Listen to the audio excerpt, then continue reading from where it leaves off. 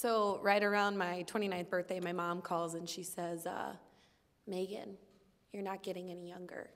And I can hear the ice hit the glass as she's taking a sip of her cocktail. and she says, I am your mother, and you're not getting any younger, and that's all I'm gonna say.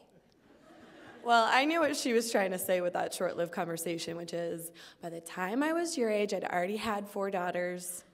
I am the only single out of the four girls. You'll find me seated at the kids' table during the holidays and the family dinners, pounding red wine. But I figure if I make buddy buddy with my niece and nephew now, they're more likely to sneak vodka into my nursing home when I'm still single and alone. So, can't, you know, thank God for that. Something you guys should know about me uh, I am a believer of love. I think it is everything, uh, it's profound.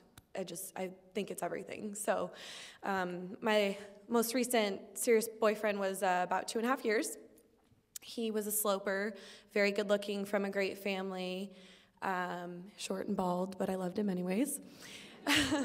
the first time he broke up with me was about a year into our relationship. He stopped talking to me for like four days. I woke up one morning to a private Facebook message from him. I'm going to read to you a little portion of it.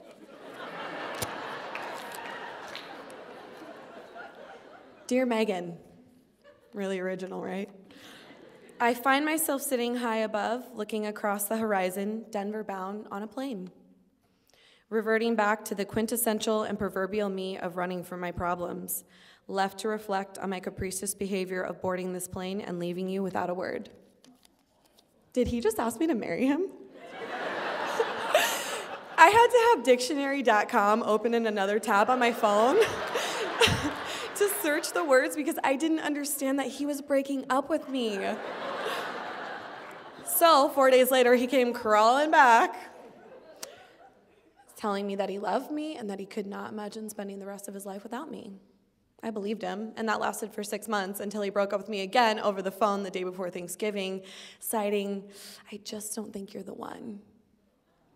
I cried a lot on the bathroom floor after that. But then the next month, he bought me a puppy, and so we got back together, and it was great. And then we broke up, and then we got back together, and then in the end, he took my puppy, but I took my pride.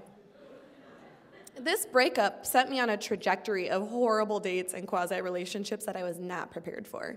For example, I went on an innocent coffee date with a coworker. He ended up in the ER with third degree burns to his throat because he pounded a shot of espresso like it was a shot of fireball. I never heard from him again. Shifting slightly, y'all have heard of Tinder, right? Yeah? Yeah? Okay. The free dating app not eHarmony. It's more of a hookup coordinator. Yeah. So uh, I'm going to tell you a little bit about Tinder. You're to go broke. And the reason why I say that is because you're to go out on a lot of dates and you're to pay for your own meals. Because the men you're going out with ain't paying for it. I had to buy my own cocktails. I think I spent $500 in two weeks. also, you should be prepared to receive uh, what I like to call the nether region photos.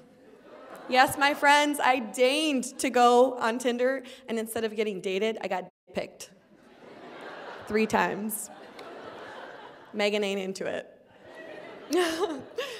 so I'm gonna tell you about Carl, seemingly normal Carl. Carl was a great guy. We hung out for several weeks. He was charming, he had a beautiful dog.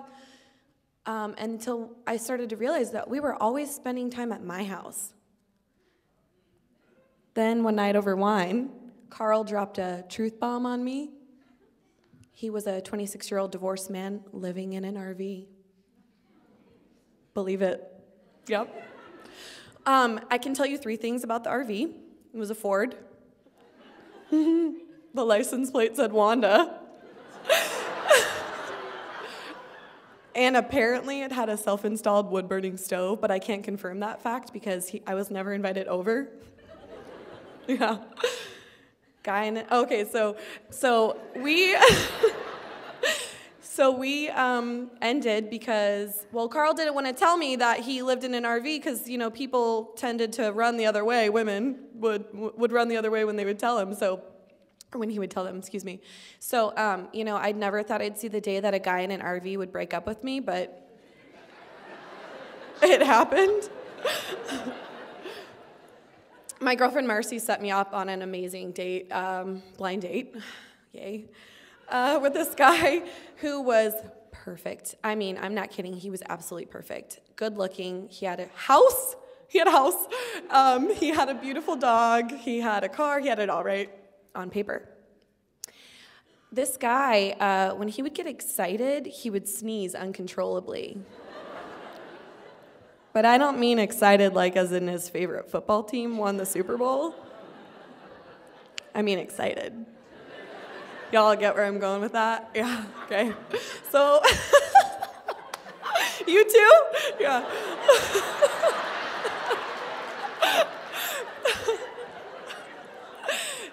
so we were having, you know, I'm, an, I'm a woman of the new world, so we were having an adult sleepover. the first time it happened, he started sneezing uncontrollably. And when I say sneeze, I don't mean like cute little achoo. I mean like full body, snot dripping, tissue, 20, one after the other sneezes. I'm laying there dying laughing. And he's over here sneezing, blowing his nose. And in between sneezes, he yells at me, You need to Google this. This is a real thing.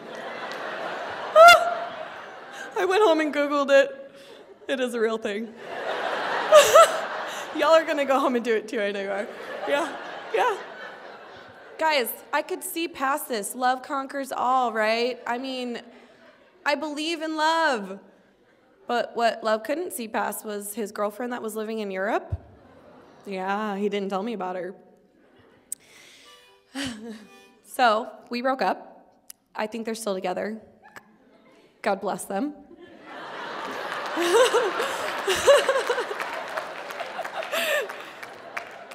this one's for you, Nikki. Oliver. Weirdest date I've ever been on. Blind date. Oliver looked like a younger version of my father. Yeah, he was 42, living at, in his mother's basement with three cats. Yep. So I asked all the questions on the date. He gave me one word responses. The date ended with me shaking, uh, driving him back to his car. I put out my hand to shake his and I said, Oliver, it was so nice to meet you. Get out of my car. So Oliver smiled at me very scarily. I thought I was going to be murdered. He got out of my car, took three steps away as I was throwing my car into drive to get the out of Dodge.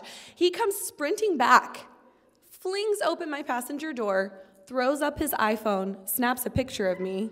I'm pretty sure it looked something like this. Slams the door closed, and uh, that was that. So, um, can I just say that I so look forward to the day that my mom stops calling to tell me, well, I've really just given up on you. I just don't think it's going to happen for you, Megan. You better get okay with it. Well, it can't get any worse, right? But hey, if there are any single men in the crowd, you know where to find me.